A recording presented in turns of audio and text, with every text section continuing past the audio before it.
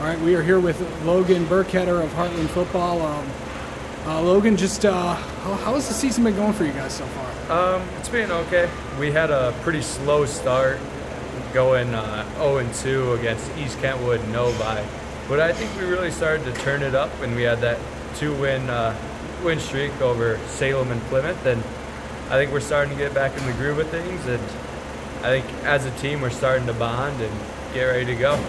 Yeah, I know. Obviously, no, last week was not what you wanted, but you know, obviously another uh, another rivalry game this week, uh, going to Howell. Uh, what's that? What's that going to be like? And uh, I know it's a game that everybody looks forward to. Yeah, I mean, we're looking at it. It's a great way to stun, you know, the number five team in the race, Nate or well, state, I guess. But we're we're excited. We're eager for this opportunity. We know we have something to prove. We know we're being looked over and kind of looked past by Howell, and I think we can really take advantage of that. Yeah. And what do you feel like you guys need to do to uh, to come away with a win? Because um, you know they they uh, they've been doing a lot of really good stuff this year.